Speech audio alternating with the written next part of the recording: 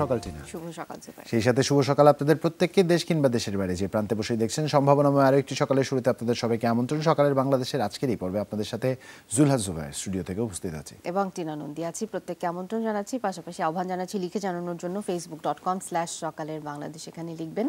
লেখার বিষয় যা কিছু হতে পারে তারপরেও বলি। এখন বৈশ্বিকভাবে যে বিষয়টা সবার আগে মাথায় আসে লেখার জন্য সেটাই প্রথমত আমরা প্রাধান্য দিয়ে থাকছি এখন অবধি করোনা। করোনা ছাড়া ছাড়া তো আর আলোচ্য বিষয় অন্ততপক্ষে প্রধানত কিছু হতে পারে না। কারণ যে অবস্থাতে বাংলাদেশ রয়েছে আশঙ্কা করা হচ্ছে বাংলাদেশ কোন দিকে যাচ্ছে আমরা এপ্রিল মাসে বাংলাদেশের কি অবস্থা হবে কতটা কোয়ারেন্টাইন মানছি আমরা কতটা নিজেকে সাবধানে রাখার সুরক্ষিত রাখার জন্য আমরা সচেষ্ট রয়েছি সবকিছু মিলিয়ে আপনার তাগিদ গরজ এবং যেটা মান্য করছেন সেটা নিয়েই আপনার মতামত জানতে চাই। নতুনদের জন্য অ্যাড্রেসটা আরেকবার বলি ফেসবুক ডট কম স্ল্যাশ সকালের এবং বাংলাদেশ সেই জানতে চাওয়ার পাশাপাশি আজ একটু বাড়তি করে সচেতন করতে চাই। একজন অতিথি আছেন আমাদের সাথে যার সাথে আলাপ হবে মূলত আজ আমাদের এই সমসাময়িক যে প্রেক্ষাপটের মধ্যে দিয়ে আমরা যাচ্ছি, স্বাস্থ্যগত যে ঝুঁকির মধ্যে দিয়ে পুরো বিশ্ব যাচ্ছে, সেই প্রসঙ্গটি নিয়ে আমাদের সাথে স্টুডিওতে আছেন doctor S M Arefin Patowari, যিনি সহকারী অধ্যাপক, মেডিসিন বিভাগ, ঢাকা মেডিকেল কলেজ। শুভ সকাল এবং সেই সাথে স্বাগত। শুভ সকাল আপনাদেরকেও। অনেক ধন্যবাদ কেমন আছেন? আছি ইনশাল্লাহ এখন পর্যন্ত ভালো আছি। এখন পর্যন্ত ভালো আছি সুস্থ আছি। স্বাভাবিকভাবে আমাদের যেটা জানতে চাওয়া থাকে যে একজন পেশাজীবীর কাছ থেকে আমরা জানতে চাই দিনের শুরুটা আসলে কেমন করে হয়। তবে এখনকার প্রেক্ষাপটটা কিন্তু এটা ব্যতিক্রম। হ্যাঁ, যেহেতু ঢাকা মেডিকেলে আছেন প্রেশারটা একটু বেশি আপনাদের এখন। একটা ওয়ারফেজের একটা গান আছে যে জীবন আমার বড় বদলে গেছে। তো আসলে সেটা এই পরিপ্রেক্ষিতে আমার আপনার আমাদের এবং সারা বিশ্বের সকল মানুষের গত দুই তিন মাসে আমাদের জীবনটা কিন্তু বদলে গেছে। এবং বদলে যাওয়া জীবনের সাথে সাথে আমাদের সকালটাও কিন্তু বদলে গেছে। তো এমনিতে আমি আগে থেকে খুব আর্লি রাইজার যে নাম- নামাজ আহ, শোনা ইয়া ফজরের আজান শোনা আহ, আপনার অন্ধকার কেটে ভোর হওয়া এগুলো আমার চোখের সামনে সবসময় হতো। এবং সকালটা শুরু হয় সাধারণত আহ, ছয়টায় আমি ঘুম থেকে উঠি। এবং বাচ্চাদেরকে স্কুলে নিয়ে যাই। আর স্কুলে থেকে ওদেরকে দিয়ে আমি হাসপাতালে ঢুকে যাই। কিন্তু গত দুই তিন মাসে স্কুল তো আপনি জানেন যে বন্ধ আছে। তো এখন হচ্ছে যে সকালে ঘুম থেকে উঠেই হয়তো একটু টিভি স্ক্রিনটা দেখি করোনার কি অবস্থা। আপডেটটা তবে আপডেটটা জানতে চাই। আমি একজন চিকিৎসক হিসাবে তবে দর্শকদেরকে বলতে চাই এই কাজটা আপনারা করবেন না যে খুব বেশি করোনার খবর নেওয়া কি হচ্ছে কি হচ্ছে? কারণ এটা কিন্তু আপনার সাধারণ মানুষের মধ্যে একটা আতঙ্ক তৈরি করছে যে এটা বেশি কনসাস একটা সাইকোলজিক্যাল একটা ইফেক্টও পড়ছে। আমরা খবর নেব তবে খুব বেশি না। প্রতি মুহূর্তে আমাদের যেটা হয় আমরা প্রতি মুহূর্তে আপডেটটা নিতে চাই জানতে চাই নতুন করে আক্রান্তের সংখ্যা বাড়লো কিনা নতুন করে মৃত্যু যাত্রায় নতুন নাম বা সংখ্যা যুক্ত হলো কিনা। এটা একটা অন্যরকম ট্রমার মধ্যে যে দিয়ে যায়। গতকালও শুনছিলাম আমাদের সাথে যে অতিথি ছিলেন ডাক্তার। এহসান ছিলেন তিনি বলছিলেন আসলে। একদম এবং গতকাল আমরা এই বিষয়ে কথা বলছিলাম মূলত মানসিক চাপ কি করে আমরা সামলাবো এই সময়টায়। তারপরেও আহ, আপনি যেহেতু মেডিসিন আপনার আহ, দেখার বিষয় আপনার এরিয়াটা আরেকটুখানি বড়। আলাদা কিছু বিষয়ের দিকে আজকে একটুখানি নজর দিতে চাইব মূলত। এই যে আতঙ্কের ব্যাপার রয়েছে না পাশাপাশি অনেক ভ্রান্ত ধারণা রয়েছে যেগুলো দিয়ে আতঙ্কটা আরেকটুখানি বিস্তৃতি লাভ করছে আমাদের। সেই ভ্রান্ত ধারণাগুলোর মধ্যে একটা বোধহয় খুব আমরা ইদানিং দেখি যে টাকার মাধ্যমে সংবাদপত্রের মাধ্যমে বাতাসের মাধ্যমে করোনা ছড়াচ্ছে। ওই বিষয়ে কি বলবেন? আসলেই কতটা সঠিক কিংবা কতটা আমলে নেওয়া দরকার? একটা জিনিস কি এই করোনা বিষয়টা এখনও আপনি দেখেন উনত্রিশে ডিসেম্বর প্রথম কিন্তু চীন বলেছে যে আমাদের একটা এরকম একটা এটিপিক্যাল নিউমোনিয়াতে কেস মারা গিয়েছে যেটা একটা নতুন ভাইরাস এবং ওয়ার্ল্ড হেলথ অর্গানাইজেশন দশ তারিখে জানুয়ারির প্রথম বলল যে এইটা নতুন করোনা ভাইরাস দিয়ে এই নিউমোনিয়াটা হয়েছে। তার মানে এই ভাইরাসটা যদিও করোনা ভাইরাস আমাদের মধ্যে অনেক আগে আছে। বাট এটা সাত এদের একটা যে আহ, বিভিন্ন ধরনের থাকে এটা সপ্তম ধরন। আচ্ছা। সেই হিসাবে এটা একটা নতুন ভাইরাস। এবং দেখেন সেই কারণে এর এর সম্পর্কে কিন্তু আমাদের অনেক তথ্যের ঘাটতি আছে। একদম। এখন আরও নতুন নতুন তথ্য আসছে সেটাকে এনরিচ করার জন্য। ফলে এই কারণে এই কনফিউশনটা হয়েছে। আপনি টিনা যে কথাটা বলেছেন যে ইদানিং শোনা যাচ্ছে অনেকে বলছে এটা কি বাতাসে ছড়ায় কিনা? অথবা সাধারণ মানুষের একটা প্রশ্ন। এখন পর্যন্ত যতটুকু তথ্য প্রমাণ এসেছে ওয়ার্ল্ড হেলথ অর্গানাইজেশন যখন একটা রিকমেন্ডেশন করে এটার পেছনে কিন্তু অনেক গবেষণা থাকে। এবং সেটার উপর বেস করে বলে। ওরা কিন্তু হুট করে একটা কথা বলে ফেলে না। এখন পর্যন্ত যতটুকু গবেষণা এসেছে ততটুকু এটা হচ্ছে ড্রপলেট ইনফেকশন এটা বাতাসে ছড়ায় না। কিছু কিছু জায়গা ছাড়া। কিছু কিছু জায়গা কেমন? ধরেন আমরা যখন ভেন্টিলেশন একটা পেশেন্টকে নেই ইনটিউবেট করি অথবা ভেন্টিলেশন থেকে একটা পেশেন্টকে তুলি অথবা আমি যখন হচ্ছে ব্রঙ্কোস্কোপি করছি তখন হয় কি আমাদেরকে প্রচুর বাতাসের একটা প্রেশার দিতে হয়। এইরকম প্রসিডিউরের ক্ষেত্রে তখন এই ড্রপলেটটা ড্রপলেটটা হয় কি একটু চেঞ্জ হয়ে যায়। হয় এই ড্রপলেটের মধ্যে আপনারা হয়তো নাও জেনে থাকতে পারেন অথবা জেনে থাকতে পারেন। ড্রপলেট আমরা যখন হাঁচি হাঁচি কাশি দেই তখন হচ্ছে একটা পানির ফোঁটার মতো। এটা চোখে সাধারণত দেখা যায় না। এরকম বের হয়ে আসে। যেটার মধ্যে জীবাণু থাকে যেটার মধ্যে আপনার লিকুইড থাকে যেটার মধ্যে বিভিন্ন খনিজ লবণ সোডিয়াম পটাশিয়াম ক্লোরাইড থাকে এপিথিলিয়াল সেল থাকে এগুলো মিক্সচার করে একটা পানির ফোঁটার মতো থাকে। যেটা কিন্তু বাতাসে দুই তিন সেকেন্ডের বেশি স্থায়ী থাকে না এটা ড্র- নিচে পড়ে যায়। তো আমাদের যে করোনা ভাইরাস নিয়ে আমরা যে কথাটা বলছি যে সার্স কোভিড টু সেটাকে আমরা ড্রপলেটই বলছি। কিন্তু নিউ ইংল্যান্ড জার্নালে একটা গবেষণা প্রকাশিত হয়েছে যেখানে তারা দেখিয়েছে যে এটা বাতাসে তিন ঘণ্টা বেঁচে থাকতে পারে। কিন্তু তারা কিন্তু সেখানে একটা জেট থ্রি কলিশন নেবুলাইজার ব্যবহার করেছে। যেটা আমি একটু আগে যেটা বললাম যে একটা এয়ার প্রেশার দিয়ে তো সেটা আর্টিফিশিয়ালি ক্রিয়েট করা হয়েছে যে কারণে ওয়ার্ল্ড হেলথ অর্গানাইজেশন তাদের এটা কিন্তু ওইভাবে নেয়নি। এবং ওদের রিকমেন্ডেশন এখনও হচ্ছে এটা ড্রপলেট এবং আমরাও কিন্তু আমাদের দোয়া করা উচিত যেন এটা ড্রপলেটই থাকে। কারণ এখন পর্যন্ত যত রিকমেন্ডেশন আছে যে একজন মানুষের কাছ থেকে এক মিটার দূরে থাকেন নিয়মিত হাত ধোন তারপরে হচ্ছে যে সোশ্যাল ডিস্টেন্সিং মেনটেন করেন এগুলো সবই কিন্তু ড্রপলেটের উপর বেস করে করা। এটা যদি এয়ারবর্ন হয়ে এখনও অনেক গবেষণা করতে হবে এয়ারবর্ন হলে কিন্তু সিনারিওটা একদমই চেঞ্জ হয়ে যাবে, আমাদের মানার বিষয়গুলো চেঞ্জ একদম হয়ে যাবে। না যদি এয়ারবর্ন হয় সেক্ষেত্রে এটাকে কোনোভাবেই আর নিয়ন্ত্রণ করা যাবে না। কঠিন কঠিন খুবই কঠিন আমাদের আমাদের মতো ঘনবসতিপূর্ণ একটি দেশে তো কোনোভাবেই সম্ভব না আসলে। এই জন্য আমরা আমরা এখন পর্যন্ত এবং আমরা কিন্তু ওয়ার্ল্ড হেলথ অর্গানাইজেশন কিন্তু আরও যে গবেষণাগুলোকে ওরা উম, আপনার ইয়ে করেছে দেখেছে সেটার মধ্যে যে গবেষণাগুলো আসতেছে একটা কোভিড নাইন্টিন পজিটিভ পেশেন্ট তাদের রুমের বাতাসকে বিভিন্নভাবে পরীক্ষা করেছে এবং সেখানে কিন্তু তারা বাতাসের মধ্যে কোনো জীবাণুর অস্তিত্ব খুঁজে পায়নি। সেদিক থেকে এখন পর্যন্ত আপ টু। এখন পর্যন্ত কিন্তু এটা ড্রপলেট ইনফেকশন আচ্ছা মানে ড্রপলেটটা এখন অবধি এগিয়ে বাতাসে ছড়ায় না। শুধুমাত্র কিছু প্রসিডিউর ছাড়া যেগুলো কিন্তু ট্রিটমেন্ট যেখানে হয় সেখানে হবে। সাধারণ মানুষের কাছে ওই জিনিসগুলো আসবে মানে শুধুমাত্র আইসিইউতে যারা কাজ করছেন মানে কেয়ার গিভার যারা রয়েছেন তারা এই ঝুঁকিতে থাকেন মূলত। সেক্ষেত্রে আমি একটু যুক্ত করতে চাই। ধরেন বাতাসে ছড়াচ্ছে না এটা খুবই নিঃসন্দেহে স্বস্তির ব্যাপার আমাদের জন্য। কিন্তু তারপরেও বলি কিছু জায়গার অ্যাটমসফিয়ারের কথা বলি যেখানে ধরেন যারা মাস্ক ব্যবহার করছে মাস্কটা খোলা জায়গায় ফেলে দিচ্ছি ঢাকনাযুক্ত কোনো ডাস্টবিনে আমরা ফেলছি না কিংবা গ্লোভসটা একটা উন্মুক্ত জায়গায় ফেলে দিচ্ছি এই যে অ্যাটমসফিয়ারটা সেটাকে কীভাবে ব্যাখ্যা হ্যাঁ, এটা কিন্তু আপনি খুব একটা ভালো কথা বলেছেন। এবং দেখেন ওয়ার্ল্ড হেলথ অর্গানাইজেশন কিন্তু ওদের যে রিকমেন্ডেশন তাতে বলা হয়েছে যে কারা মাস্ক ব্যবহার করবে।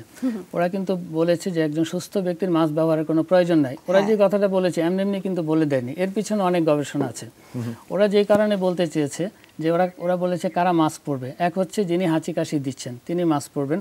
বিকজ এটা যেহেতু আমরা বললাম ড্রপলেট ড্রপলেট হচ্ছে যে আপনার কখনোই এটা এক মিটারের বেশি দূরে যাবে না। এক।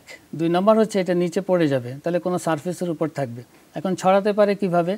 যে আপনি ওই সারফেসে হাত দিলেন আপনার হাতে চলে গেল। অথবা কেউ একজন হাঁচি কাশি দিল আপনার মুখের উপর সেভাবে ছড়াতে পারে। তাহলে হাতটা এখানে খুব ইম্পর্টেন্ট এই কারণে কিন্তু ওয়ার্ল্ড হেলথ অর্গানাইজেশন বারবার বলছে যে আপনাকে হাত ধুতে হবে। কোনো কিছু স্পর্শ করলেন তারপরে হাত ধুয়ে ফেলতে হবে। এবং হাত না ধুয়ে আপনি কখনো মুখ স্পর্শ করবেন না নাক অথবা চোখ স্পর্শ করবেন না। কারণ হচ্ছে এখানে মিউকাস মেমব্রেন থাকে এদিক দিয়ে কিন্তু এগুলো প্রবেশ করে চোখ দিয়েও কিন্তু প্রবেশ করতে পারে। তো যেই কারণে ওয়ার্ল্ড হেলথ অর্গানাইজেশন বলেছে যে যিনি হাঁচি কাশি দিচ্ছেন তিনি যদি মাস্ক পরেন এটা কিন্তু হাঁচি কাশি দিলে ফিল্টার হয়ে যায়। এটা যেতে পারবে না। আপনার এখানেই কনফাইন থাকল। এক দুই নম্বর হচ্ছে যিনি করোনা ভাইরাসের রোগীকে চিকিৎসা করবেন তিনি মাস্ক ব্যবহার করবেন। তাহলে এবং সুস্থ মানুষকে তারা বলেছে যে মাস্ক ব্যবহার করার প্রয়োজন নাই। কেন বলেছে? এক নম্বর হচ্ছে যে আমরা যেহেতু বলছি এটা ড্রপলেট ইনফেকশন কাজে আপনি মাস্ক কিন্তু আপনাকে কোনো প্রোটেকশন দিবে না। যেটা করতে পারে ওরা বারবার বলছে আপনি হাত ধোন আপনি একজন মানুষের কাছ থেকে এক ফিট দূরে অবস্থান করেন। আমরা যেটা ফিজিক্যাল ডিস্টেন্সিং বলতেছি যেটা ওটার উপরেই সব জোর ওয়ার্ল্ড হেলথ অর্গানাইজেশনের পরে এক দুই নম্বর হচ্ছে তাহলে এটা আপনাকে মাস্ক আপনাকে প্রোটেকশন দিচ্ছে না। এক দুই নম্বর হচ্ছে মাস্ক পরে আপনি কিন্তু একটা ফলস ফিলিং অফ সেফটি চিন্তা করতে পারেন। আপনি ভাবতে পারেন আমরা অনেকে ভাবছি আমি একটা মাস্ক পরে ফেলেছি কাজে আমি নিরাপদ আমার আর হাত ধোয়ার দরকার নাই মানুষের সাথে ঘেঁষাঘেঁষি করলে অসুবিধা নেই। ওয়ার্ল্ড হেলথ অর্গানাইজেশন এই কারণে এটাকে ডিসকাস করেছে যে আপনি একটা ফলস ফিলিংস আপনার মধ্যে থাকতে পারে যে আপনি খুব নিরাপদ। আরেকটা যেটা হচ্ছে তাহলে যেই পেশেন্টগুলা হাঁচি কাশি আসে তাদের তো মাস্ক প্রয়োজন যাতে এটা স্প্রেড করতে না পারে। আপনি সবাই যদি মাস্ক ব্যবহার করতে থাকে মাস্কের এমনিতেই স্বল্পতা আছে। বিকজ মাস্ক বলতে ওরা কিন্তু মেডিকেল অথবা সার্জিক্যাল মাস্ককে বোঝায়। আমাদের আমরা যেগুলো করছি যে কাপড় দিয়ে পলিথিন দিয়ে। টিস্যু দিয়ে যেভাবে আসলে এগুলো রিকমেন্ডেড মাস্ক না।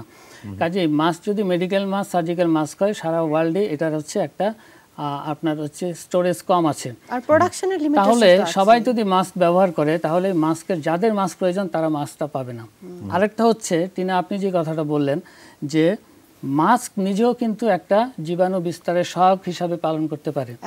আপনি ধরেন মাস্ক পরে বাইরে ঘুরে বেড়ালেন এবং কেউ কোভিড নাইন্টিনে কেউ একজন হাঁচি কাশি দিল আপনার মাস্কের উপর জীবাণু লেগে আছে। আপনি যদি মাস্ক ম্যানেজমেন্ট না জানেন আপনার মাস্ক না পরাই ভালো। আপনি মাস্কটি নিয়ে বাসায় আসলেন। আমরা কি করছি আসলে? মাস্কটা এনে আমি টেবিলের উপর রেখে দিচ্ছি আমি ডাইনিং টেবিলের উপর রেখে দিচ্ছি ওয়ার্ড্রপের উপর রেখে দিচ্ছি। এই মাছ থেকে আপনার বাড়ির সবাই আক্রান্ত হয়ে যাচ্ছে। কাজেই এই যে মাছটা আমি বাসায় ঢুকছি। ভালোর জন্য পড়লাম উল্টা জীবাণু বাড়ি নিয়ে গেলাম। তাহলে আপনি আমাকে প্রশ্ন করতে পারেন। তাহলে বাংলাদেশের মানুষ আমরা কি মাস্ক পরবো না? দেখেন ওয়ার্ল্ড হেলথ অর্গানাইজেশন কিন্তু বলেছে আপনাকে সোশ্যাল অথবা ফিজিক্যাল ডিস্টেন্স যেটা আমরা বলি এটা মেনটেন করতে। আপনাকে বলেছেন হাত ধুতে আপনাকে বলেছেন গণজামায়াতে না যেতে। আপনি সেটাতে যাচ্ছেন। বাংলাদেশে এখন যেটা হচ্ছে আমরা যে একটা ভালোর জন্য যে যাতে এটা স্প্রেড না করে আমরা স্কুল কলেজ ছুটি দিলাম অফিস ছুটি দিয়ে দিলাম সবাই একসাথে। কীভাবে গিয়েছে আপনারা দেখেছেন। একজন মানুষের সাথে কোনো ডিস্টেন্স নাই। গ্রামে চলে গিয়েছে সেখানে একটা মেলা উৎসবের মতো অবস্থা হয়েছে। কোনো ঈদ- social distance- ঈদ চাঁদে যেরকম করে মানুষজন উৎসব করে ঠিক তেমন উৎসব চলছে অনেক জায়গায়। তাহলে আপনি আমাকে এই জিনিসগুলো তো হু রিকমেন্ড করে নাই।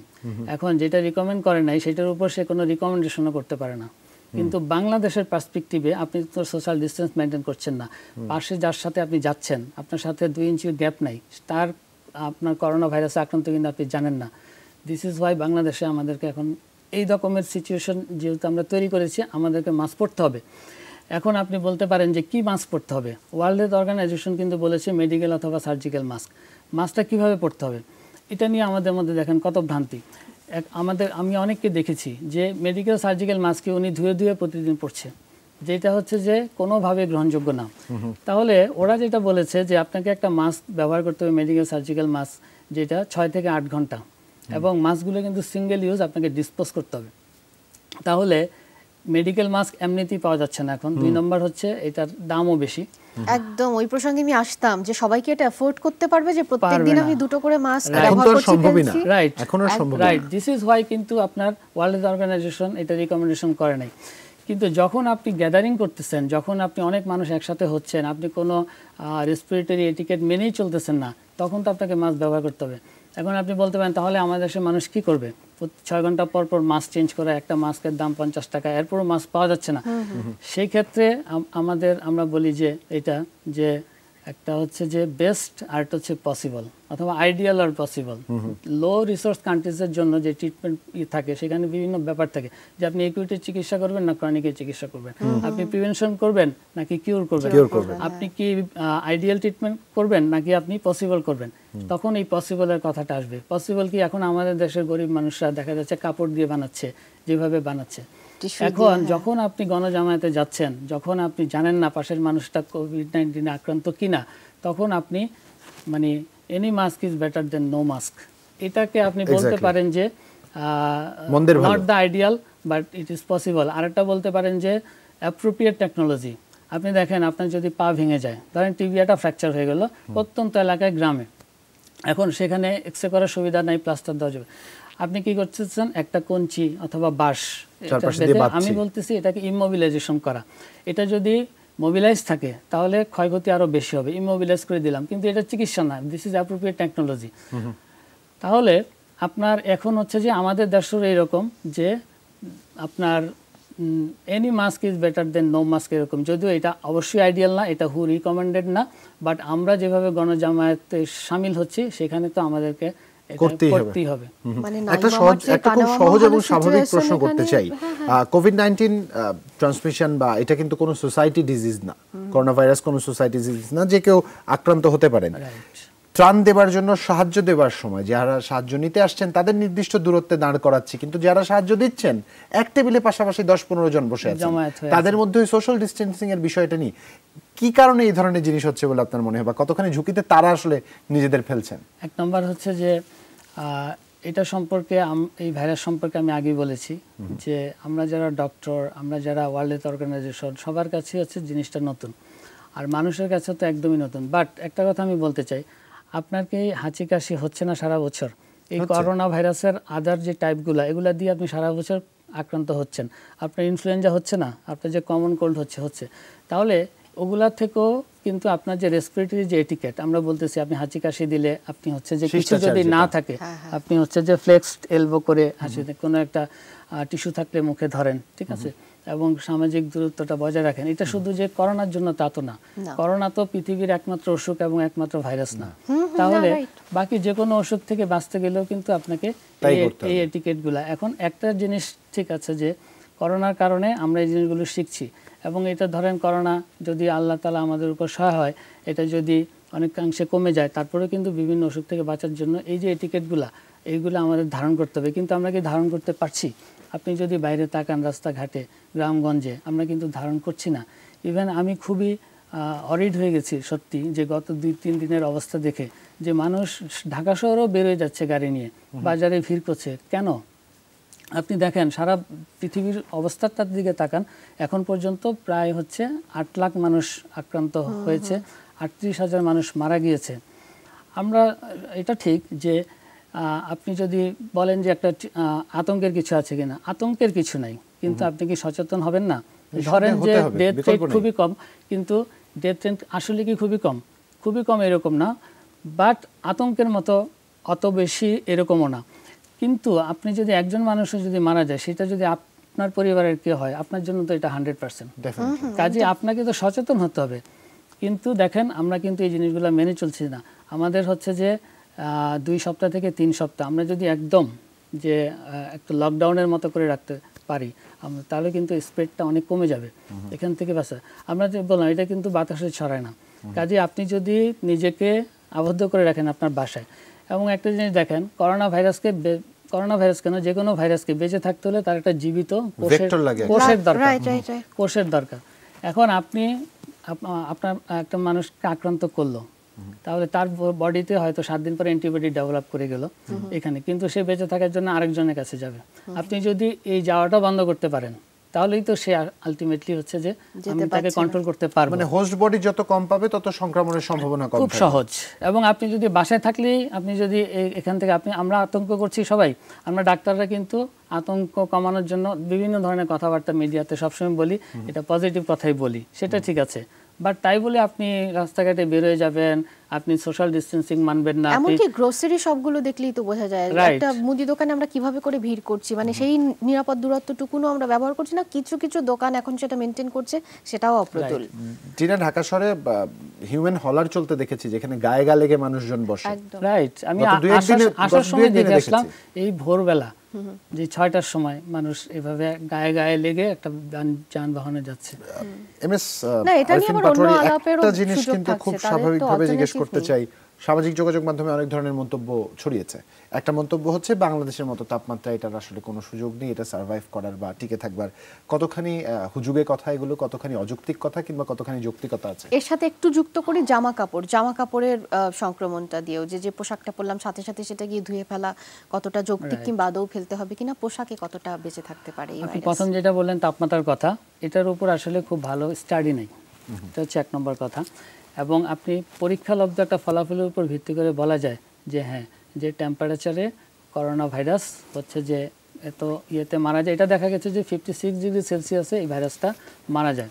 তাহলে এই ফিফটি সিক্স ডিগ্রি টেম্পারেচার তো আপনি এনশিওর করতে পারবেন না। তাহলে মারা যাওয়ার প্রশ্ন আসতেছে না। যেটা আসতেছে যে ভাইরাসটা দুর্বল হয়ে যায় স্প্রেড না করা। করোনা ভাইরাসের ক্ষেত্রে অত ভালো স্টাডি নাই যেহেতু এটা একটা নতুন ভাইরাস সেই ক্ষেত্রে এইভাবে বলা মুশকিল। কিন্তু এমনিতেই ভাইরাস কিন্তু আপনার ওই যে আমি বললাম যে একটা জীবিত কোষ লাগে, তাহলে মানবদের ভিতরে সে হচ্ছে ইয়ে করছে। কিন্তু বাইরে সে বেশিক্ষণ টিকতে পারে না। ইভেন টিকতে পারে না যে, তো এখন সেই ক্ষেত্রেও দেখা গেছে যে টেম্পারেচারে কিন্তু ভাইরাসের এই যে বিস্তারটা অনেক কম হয়। অন্যান্য ভাইরাসের ক্ষেত্রে। সেদিক থেকে আমরা বলতে পারি যে এটা হতেও পারে। এবং এটা আপনি দেখেন যে কিন্তু কোনো স্টাডি নেই। কিন্তু কোনো স্টাডি নাই। জিওগ্রাফিক্যালি আপনি দেখেন যে বাংলাদেশ পাকিস্তান ভারত ভুটান নেপাল এই অঞ্চলগুলোতে এটার বিস্তার কিন্তু অনেক কম। তুলনামূলক কম। এই কারণে আমরা হয়তো মনে করছি যে টেম্পারেচার আমাদেরকে হয়তো সহায়তা করছে। আর আমরা যেই ধরনের আচরণ দেখাচ্ছি এই রাস্তাঘাটে বাজারে এখানে সেখানে যেভাবে গ্যাদার করছে গ্যাদার করছে তারপরেও আমাদের দেখেন কেস কম আমাদের ডেথ কম। তাহলে এখানে। কোনো একটা ফ্যাক্টর হয়তো কাজ করছে। মানে এটা হতে পারে টেম্পারেচার বাট পরীক্ষালব্ধ ফলাফল সেরকম যেহেতু আমাদের হাতে নেই সুতরাং সেভাবে কিছু বলা যাচ্ছে না। হ্যাঁ। নিঃসন্দেহে। আসলে ওই ডেটটা কম এটা বলতে গেলে সামাজিক যোগাযোগ মাধ্যমে তো এখন অনেক ধরনের মন্তব্য ছড়াচ্ছে অনেক ধরনের কথা ছড়াচ্ছে। একটি নির্দিষ্ট রাষ্ট্রের কথা বলে বলা হয়েছে কোনো করোনা ভাইরাস আক্রান্তের সংখ্যা নেই। কারণ সেই দেশের মন্তব্য হচ্ছে আমার কাছে টেস্ট কিটই নেই যেটা দিয়ে আমি টেস্ট করব। সাম্প্রতিক আরও বেশ কিছু পোস্ট দেখছিলাম যেখানে বলা হয়েছে আসলে বিভিন্ন দেশে যে কিটগুলো গেছে একটি নির্দিষ্ট রাষ্ট্র থেকে সেই কিটগুলো প্রায় ত্রিশ থেকে পঁয়ত্রিশ শতাংশই ভুল ফলাফল দিচ্ছে। সো এক্ষেত্রে যদি ভুল ফলাফল আসে টেস্টের মাধ্যমে বা কিটের যদি ভুল ফলাফল দেখায় করণীয় কি আছে আমাদের? আপনি দেখেন যে করোনা ভাইরাস ডিটেক্ট করার জন্য সবচেয়ে যে ভালো মাধ্যম সেটা হচ্ছে আরটিপিসিআর। তাহলে রিয়েল টাইম পিসিআর, এটাতে হচ্ছে ভুলের মাত্রা অনেক কম থাকে। এটা সেন্সিটিভিটি স্পেসিফিসিটি অনেক বেশি। আবার কিছু স্যারোলজিক্যাল টেস্ট আছে যেগুলোতে কিন্তু ভুলের মাত্রা অনেক বেশি থাকে। যে কারণে ওয়ার্ল্ড হেলথ অর্গানাইজেশন এই স্যারোলজিক্যাল টেস্ট যেটা, যে আমরা যেখানে অ্যান্টিবডি দেখি, সেটাকে কিন্তু অ্যাডভোকেট করে না। তাহলে এখানে কিছু ব্যাপার আছে। আমরা কি আরটিপিসিআর করছি নাকি স্যারোলজিক্যাল টেস্ট করছি সেগুলোর উপর অনেক কিছু ডিপেন্ড করে। নিশ্চয়ই এটা অনেক কঠিন আলোচনা যেটা জনসাধারণ সহজে বুঝতে পারবেন না খালি আমরা বুঝতে চাই টেস্ট করা হচ্ছে কিনা। খালি জানতে চাই টেস্ট করা হচ্ছে কিনা আমি নিরাপদে আছি কিনা আমার জন্য ব্যবস্থা নেওয়া হচ্ছে কিনা এই বিষয়গুলো জানতে চাই। এই সবকিছু তো গেল। এরপরে জি জি কিছু বলছিলেন। হ্যাঁ টেস্টের কথা যেটা বলছিল যে জুবাইর যে আমরা অনেকে ভাবছি যে টেস্ট করা হচ্ছে না টেস্ট করা হচ্ছে না। একটা দেখেন আপনার এই অসুখে আমরা ইতিমধ্যে জেনে গেছি যে এখন পর্যন্ত আপনার ভ্যাকসিন নাই। এখন পর্যন্ত কোনো ট্রিটমেন্ট আমরা ওইভাবে কিছু কিছু ট্রিটমেন্ট দেখা যাচ্ছে ইন্ডিভিজুয়ালি কারও কারও ক্ষেত্রে ভালো কাজ করেছে। কিন্তু এখন পর্যন্ত যে আমি স্বীকৃত কোনো চিকিৎসা আমার কিন্তু নাই। কাজে টেস্ট আপনাকে আগে আইডেন্টিফাই করলে আগে চিকিৎসা পাওয়া যাবে এটাতে হেল্প করবে না। টেস্ট যেটাতে হেল্প করবে সেটা হচ্ছে আপনি একটা পেশেন্টকে আপনি আইডেন্টিফাই করতে পারলেন। করলে সুবিধা কি? ওকে আপনি আইসোলেশনে নিয়ে গেলেন। আর তার সাথে যারা মিশেছে, তাদেরকে আপনি কোয়ারেন্টাইনে নিয়ে গেলেন। তাহলে বিস্তার ঠেকানো যাবে। এবং এটা অবশ্যই ঠিক। কিটের কিন্তু স্বল্পতা ছিল সারা বিশ্বে। আমেরিকাতেও ছিল ইউরোপেও ছিল সেইভাবে আমাদেরও ছিল। আস্তে আস্তে আমাদের কিটের সংখ্যা বাড়ছে। ইনশাল্লাহ আমরা হচ্ছে এখন বড় লেভেলে পরীক্ষা করতে পারব আমরা সিনারিওটা বুঝতে পারব। সেক্ষেত্রে একটু জানতে চাই যে কোয়ারেন্টাইনের কথা বলছিলাম। কোয়ারেন্টাইন অনেকে মানছি অনেকে মানছি না ঘর থেকে বেরিয়ে আসছি অসচেতন আচরণ করছি গণজামায়াত করছি। কোয়ারেন্টাইনে আসলে বেসিক কি কি কাজগুলো আমাদের করতে হবে? কি কি মানতে হবে? এটা একটু বিস্তারিত যদি তার চেয়ে আমি তার একটু আগে থেকে বলি যে কোয়ারেন্টাইন এবং আইসোলেশন এটা নিয়েও কিন্তু আমাদের মধ্যে হ্যাঁ কখন যাচ্ছে অনেক চিকিৎসকরাও একটু এলোমেলো ভাবে বলছে আসলে একটু বড় করে বলার কারণে বিভ্রান্তি সৃষ্টি হয় বেশি। অসংখ্য ধন্যবাদ আপনাকে। আপনি যদি আপনি যদি শুধু একটা জিনিস চিন্তা করবেন যে কার উপসর্গ আছে কার উপসর্গ নাই। যার উপসর্গ নাই সে কোয়ারেন্টাইনে যাবে। যার উপসর্গ আছে অর্থাৎ জ্বর আমরা যে বলি যে ড্রাই কাশি তারপরে একটু অবসাদ নেমে আসা তারপরে হচ্ছে যে গলা ব্যথা। এই উপসর্গ যার থাকবে সে যাবে আইসোলেশনে আর যার উপসর্গ নাই সে যাবে কোয়ারেন্টাইন এটা সহজ হিসাব। এখন কার উপসর্গ আছে কার উপসর্গ নাই আপনার হচ্ছে যে কে কোভিড নাইন্টিনের কন্ট্যাক্ট আছে সেটা পরের কথা। কিন্তু এই বেসিক জিনিসটা আমাদের ঠিক জানতে করতে তারও আগের একটুখানি বেসিকে যাই। শব্দ দুটো আমি যদি শুধুমাত্র রাজধানীকে ছেড়ে দিই বা বড় বড় শহরকে ছেড়ে দিই ছোট জায়গাগুলোতে এই শব্দ দুটোই নতুন। অনেকে আইসোলেশন মানেই বোঝে না কোয়ারেন্টাইন মানেই বোঝে না।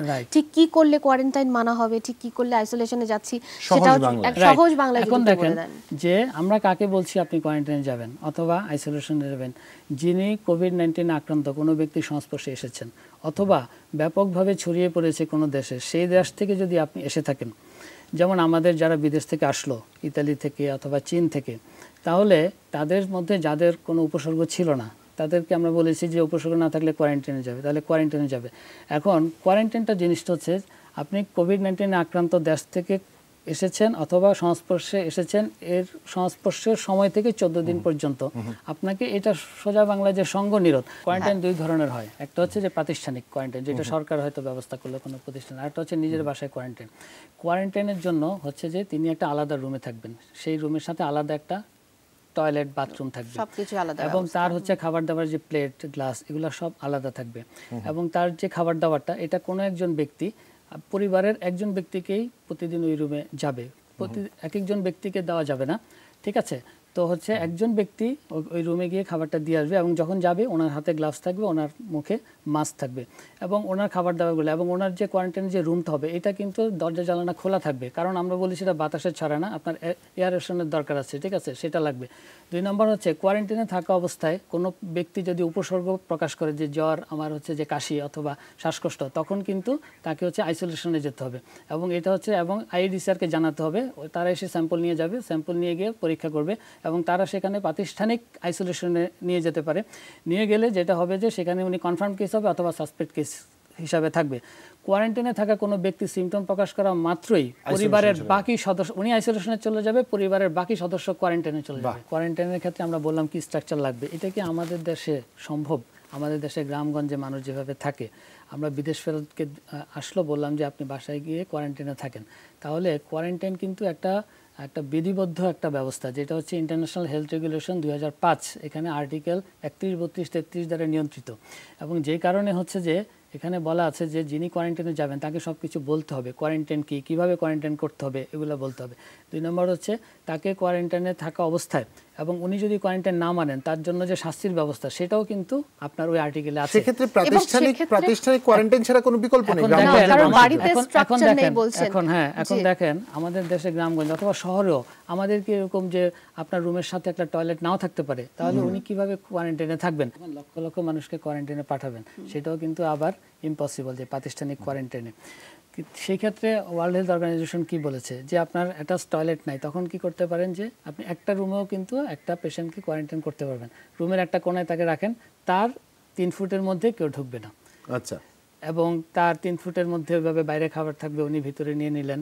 এইখানে হচ্ছে যে একটা রুমের মধ্যে এইভাবে একটা আপনি কোয়ারেন্টাইনের মধ্যে যেতে পারেন যদি সম্ভব না হয়। এটাও নট আইডিয়াল এটা হচ্ছে যে পসিবল আগে আমরা যেটা। বললাম তো কয়েকদিনই দেখতে পাচ্ছি যে আমাদের লাশ কবরে একটা এলাকায় সে যে মানে এলাকাটাকে সেখানে আক্রান্ত ব্যক্তিকেই কিন্তু অনেক অ্যাম্বুলেন্স নিতে চাইছে না কারা ছুঁয়ে বের করবে। করতে দিচ্ছে না। এই জিনিসটা কিন্তু এটা কিন্তু ওয়ার্ল্ড হেলথ অর্গানাইজেশন খুব ভালোভাবে এগুলো লিটারেচার আছে। সেখানে কিন্তু তারা বলেছে যে একটা মৃত ব্যক্তি, লাশ, এখান থেকে কিন্তু স্প্রেড করার কোনো রকমের এভিডেন্স পাওয়া যায় না এখান থেকে কোনো ব্যক্তি আক্রান্ত হওয়ার কোনো এভিডেন্স পাওয়া যায়নি। বাট আমরা বারবার বলছি ভাইরাসটা নতুন, যে কারণে এভিডেন্স অত বেশি নাই। সেই কারণে কিন্তু ওয়ার্ল্ড হেলথ অর্গানাইজেশন চাচ্ছে তার কন্ট্যাক্টে যারা আসবে, তারা যেন পুরো প্রিকশন নিয়ে আসে। তাহলে এটা একটা হতে পারে যে আমাদের এই সৎকারগুলো অনেক প্রতিষ্ঠান আছে যারা করে।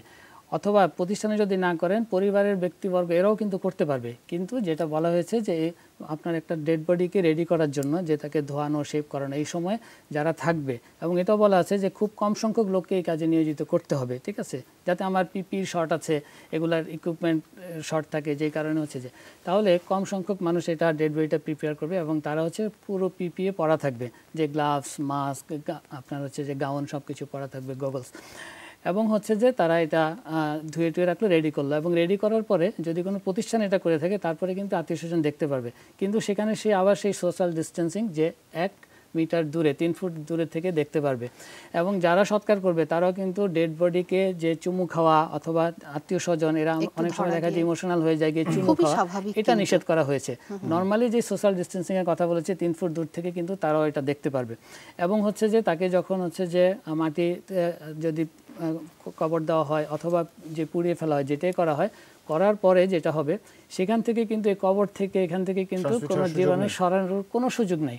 কাজে আমরা যারা এটা করছি না বুঝে করছি এবং আপনি এটা তো আপনি নিশ্চিত হওয়ার কোনো কারণ নাই যে যাকে আপনি কবর দিতে দিচ্ছেন না এই অবস্থায় আপনি কালকে যেতে পারেন। কাজে এটা খুবই একটা মানে আমাদের বোকামি ছাড়া আর কিছু না। এবং এই প্রসঙ্গে আর একটা কথা বলি এটা একটু শেষ করে নিই যে যেখানে হচ্ছে যে লাশটাকে রেডি করবে, সেই জায়গাটাকে রেডি করার পরে ওই জায়গাটাকে ডিজিজ ইনফেক্ট করে ফেলতে হবে। যে সেখানে আপনি ওই যে ব্লিচিং পাউডার দিয়ে অথবা হচ্ছে সোডিয়াম হাইপোক্লোরাইড এগুলো দিয়ে সাবান পানি দিয়ে জায়গাগুলো ধুয়ে ফেলতে হবে। অন্যান্য যে প্রিকশনগুলো ঠিক ওইভাবেই। কিন্তু এটা নিয়ে একটা ডেড বডি নিয়ে আতঙ্কের কিছুই নেই। কারণ হচ্ছে যে এই ডেড বডি সাধারণত এটা এভাবে ছড়ায় না। আর এটা হচ্ছে ডেড বডি যদি আপনি অটোপসি করেন যে আমরা যে পোস্টমর্টেম করি ওইখানে যদি কেউ লাংস যে ফুসফুসটা আক্রান্ত সেখানে যদি কাটাকাটি করে সেই ক্ষেত্রে উনি যদি ইকুইপমেন্ট পরা না থাকে তিনি এফেক্টেড হতে পারেন। সেটা তো একটা ভিন্ন বিষয়। ভিন্ন বিষয়।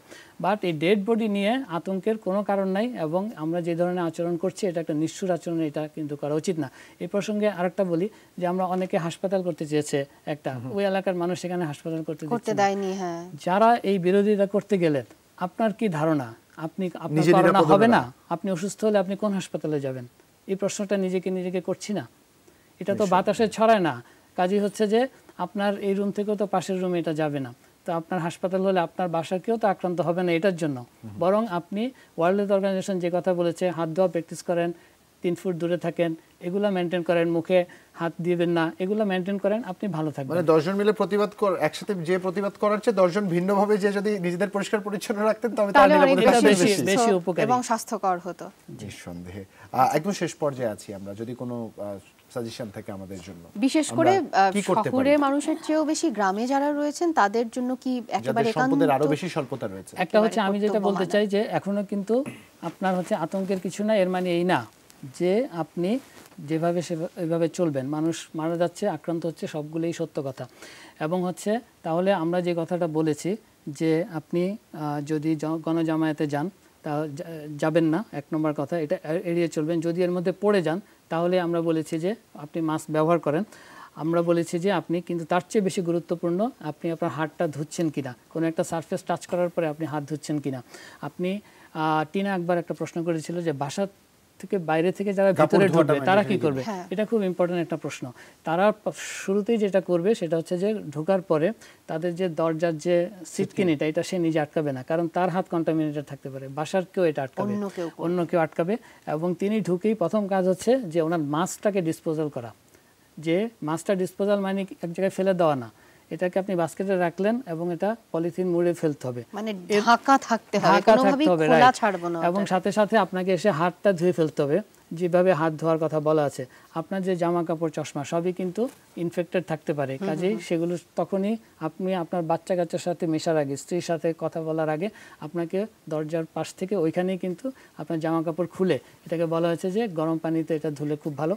তারপর সাবান পানিতে ধুয়ে ফেললেই হলো। এগুলো আপনি ধুয়ে আপনার সব কিছু আপনার বেল কন্টামিনেটেড থাকতে পারে। এগুলাকে আপনি হচ্ছে যে ডিসইনফেক্ট করে তারপরে আপনি বা- বাসায় প্রবেশ করেন। তাহলে আপনার পরিবারের সদস্যগুলো হচ্ছে নিরাপদ থাকবে। অসংখ্য অনেক ধন্যবাদ আপনাকে আমার মনে হয় এতটুকু খুব সহজ কাজ সহজ কাজগুলো সহজভাবে করলেই হলো নিরাপদে থাকতে পারব আমরা। এবং ডাক্তার পাটোয়ারি আপনারাও সাবধানে থাকবেন কারণ আপনাদের সুস্থতা এই সময় খুব বেশি দরকার তাই আপনাদের জন্য শুভকামনা থাকছে।